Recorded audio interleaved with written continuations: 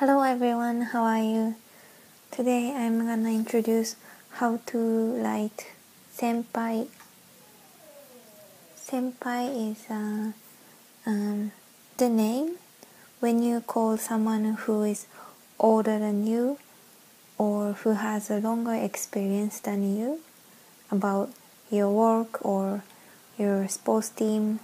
So if you're like uh, in your school, if you're grade 5 and there's a people grade 6 7 8 9 those people you when you call them you can say senpai. It show your respectation respect. It show your respect. And also uh, at the company if there is a uh, you don't call a boss as a senpai but uh, someone who started working at the company one year earlier than you, you can say senpai, you can call them senpai. Because mm. here, people call each other by name. So they don't say, they don't use this special word if, if, if your coworker is Steve and they just say, hey Steve. But in Japan, it's better to show your respect. So you, you should you better to say senpai. It's like you toward your older friend or former former colleague colleague former colleague. Anyway, senpai.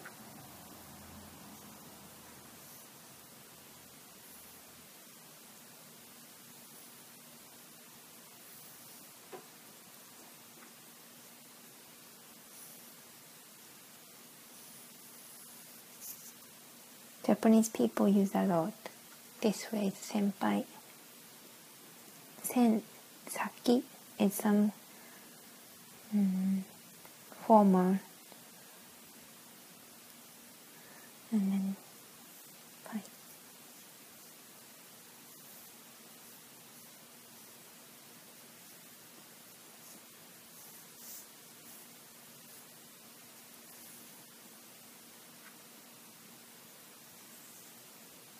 senpai.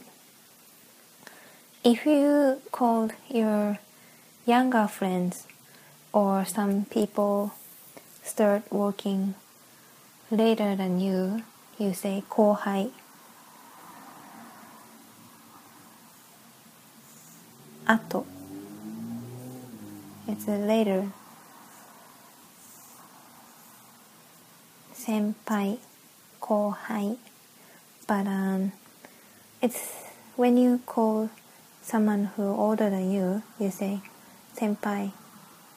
So if your your coworker is one year older than you and then has longer experience, uh, Steve senpai, Yuka senpai. But when you call someone who has less experience than you, you don't say kohai. You don't call that person Hi, Yuka Kohai. You don't say, you just say Yuka, just as call by name.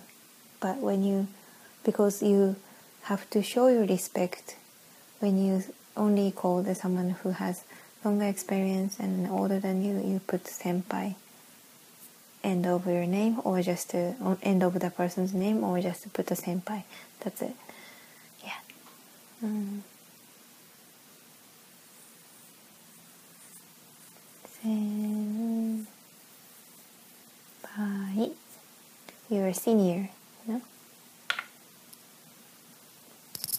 Uh, that's all for now. Thank you for watching. Bye.